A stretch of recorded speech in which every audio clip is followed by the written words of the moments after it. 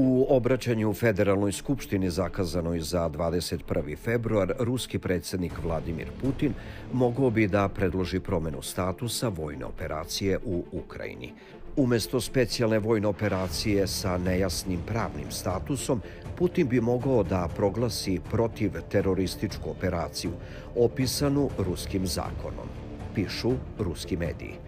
Tu mogućnost su za New York Times iznela dva politička stratega koji sarađuju sa predsedničkom administracijom. Sama poruka se odvija u režimu specijalne operacije.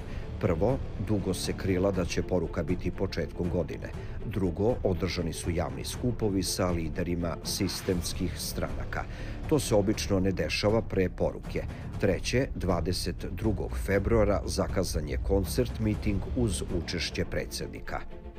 Glavna stvar u tome naravno nije koncert, već miting, rekao je anonimni izvor koji učestvuje na sastancima Odeljenja za unutrašnje poslove predsedničke administracije i odobrava njegova naređenja. Međutim, kakva će biti konačna odluka, niko ne zna, osim predsednika i njegovog najužeg kruga, predviđa on.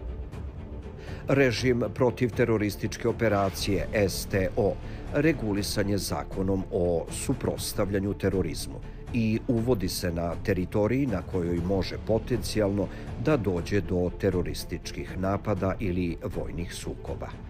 U januaru je grupa poslanika Državne dume već predložila da se odustane od termina specijalna vojna operacija, koji je Putin predložio na početku rata u Ukrajini.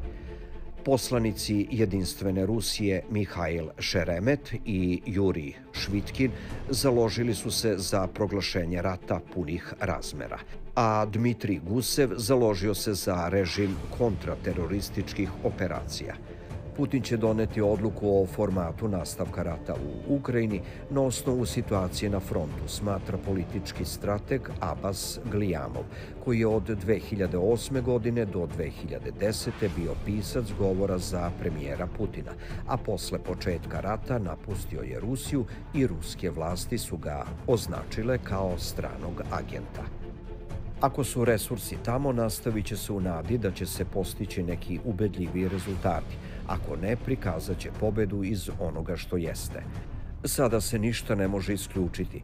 Predsednik demonstrira potpunu neadekvatnost, ali je nejasno da li je zaista neadekvatan ili se samo pretvara da je toliko u nadi da će ubediti Ukrajince da mu ustupe bar teritorije koje kontroliše, smatra Galjamov.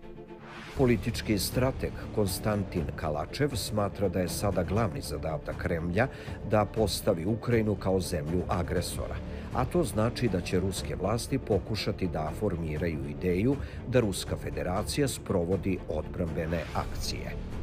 Specijalna vojna operacija može da se završi samo pristupom administrativnim granicama regiona Donjetski i Lugansk – Posle toga, da ne bismo izgledali kao agresor, možemo govoriti o zaštiti ruskih granica. Umesto SVO možete ponuditi protivterorističku operaciju, odbrambena operacija. Međutim, to je čisto hipotetički, kaže Kalačev. Očigledno je da se specijalna operacija odugovlačila, ali plan deeskalacije ima protivnike, ističe politički analitičar Ilja Graščenkov. Prelazak u STO može se predstaviti kao pobeda, naglašava on, pošto ciljevi SVO nisu jasno formulisani i menjani nekoliko puta. Može se, na primer, reći da je bilo moguće izvršiti denacifikaciju i demilitarizaciju aneksiranih regiona Ukrajine. Zapratite naš kanal i playlistu Balkanska hronika.